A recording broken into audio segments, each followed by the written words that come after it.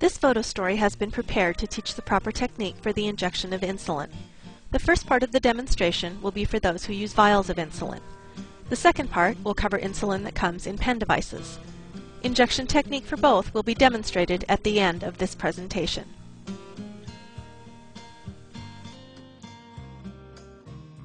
Before preparing your insulin dose, thoroughly wash your hands using soap and water. This should be done no matter what type of insulin product you have. Prior to withdrawing the insulin, inspect your vial. Be sure to check the expiration date as well as for any signs of insulin breakdown within the vial, such as long streaks or clumps. If the vial is expired or the insulin's appearance looks different than it did when you first acquired the product, do not use it. Obtain a new vial as soon as possible. Once your insulin has been inspected, if you have a cloudy type of insulin, gently mix it by rolling it back and forth between your hands. Do not shake the insulin. If your insulin is clear, you do not need to do this. If using a new bottle of insulin, remove the colored, flat, plastic cap that is on the top of the vial. The rubber stopper should now be visible on the top of the vial.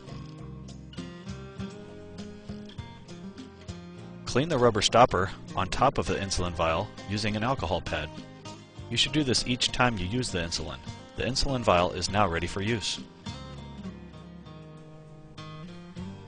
Safely remove the cover of the needle on the syringe. Take care not to let the needle touch any surface other than the vial of insulin or your skin where you will inject the insulin.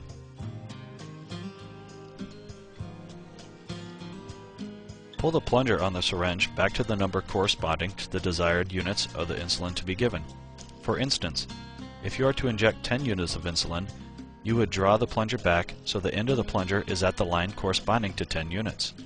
Make sure that you are using a syringe specifically meant for insulin injection. Gently push the tip of the needle through the rubber stopper and push the air in the syringe into the vial of insulin by pushing down on the plunger.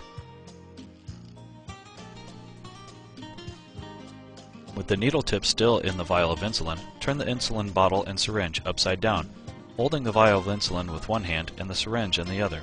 This takes practice, but soon you will be able to manipulate the syringe and vial with little difficulty. Pull back on the plunger to get the desired dose of insulin to be given. The end of the plunger should be at the same mark as it was when you drew in the air. If air bubbles appear in the syringe after you pull up the insulin, gently flick the syringe with your finger to make the bubbles rise to the top of the syringe, and push the insulin back into the vial. Draw back on the plunger a second time to get the desired dose. Very tiny bubbles are not a concern. Pull the syringe out of the insulin vial and double check the dose withdrawn.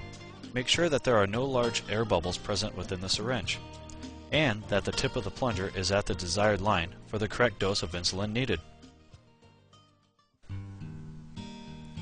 In addition to vials, you may receive your insulin in the form of a pen. Many types of insulin come in this type of administrative device. There are some differences among them, but they all basically work in the same manner. Pull the pen cap to remove it. Be sure to check your insulin for type and expiration date. Use an alcohol swab to wipe the rubber seal on the end of the cartridge holder.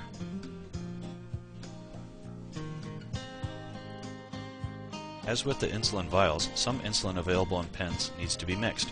Gently roll the pen 10 times and invert the pen 10 times if you have the cloudy type of insulin. Do not shake the pen. The needles that are to be attached to the pens come separately and must be attached to the pen prior to use. Pull the cap off the needle, then push the needle straight onto the pin through the rubber end. Screw the needle onto the pin until secure. Once the needle is secure, pull off the outer needle shield. Do not throw this away. The pen now needs to be primed. Dial up 2 units by turning the dosage knob on the top of the pen. Some pens require that you pull the knob out as you do this. Point the pen up and tap the cartridge to collect air at the top. You may need to flick the pen to get the bubbles to the top of the pen. Push the knob in until it stops and zero is seen in the window. The pen is now primed. If a little stream of insulin did not appear, repeat the priming steps again. Next, twist the end of the pen until your predetermined insulin dose is indicated by the number in the window. The pen is now ready for injection. After injection, use the outer needle shield to cover the needle, unscrew the capped needle and dispose of it as we will describe later in the injection techniques section of this demonstration.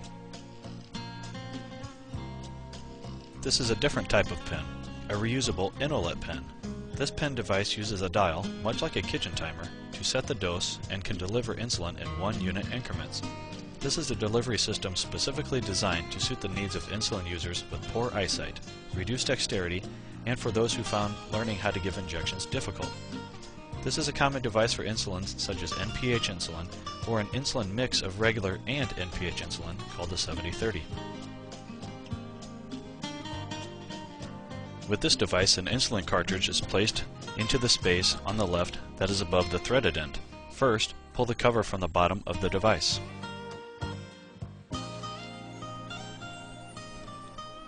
Attach the needle to the threaded end using the steps followed with the previous pin.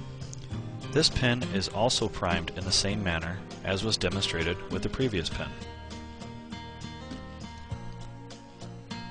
Once the pen is primed, turn the dial to the units you are to receive. If you turn the dial too far, you can simply turn it back to get to the right number. The last step is to insert the needle into the chosen injection site. Press the plunger located above the dial and wait until the dial reads zero. This takes about 6 seconds. Then remove it.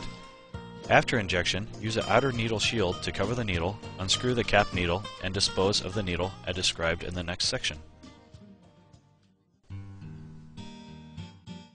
When deciding where to inject your insulin, the optimal place is the abdominal region. In order to avoid the development of scar tissue, the 10-finger technique can be used to spread out the locations for each injection. Simply spread your hands across your stomach and rotate injection sites based on the location of the spaces between your 10 fingers. Before injecting the insulin, clean the area of injection with an alcohol wipe or with soap and water. It is important to allow this region to dry before injecting your insulin dose. Pinch a large area of skin where you wish to give your insulin dose.